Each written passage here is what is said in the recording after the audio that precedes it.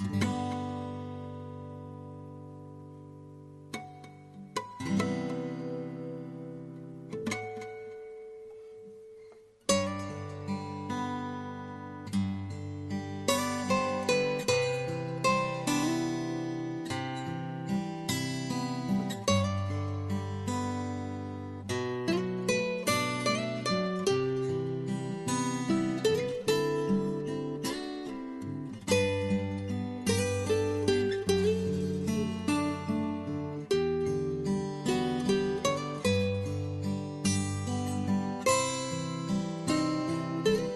ろは堂は私の祖父が創業したのが始まりです。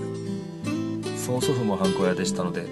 親子4代でハンコ屋をやっております。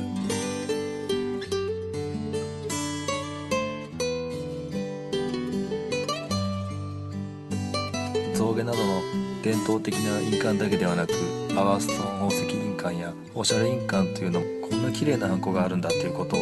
もっとたくさんの人に知っていただきたいですね。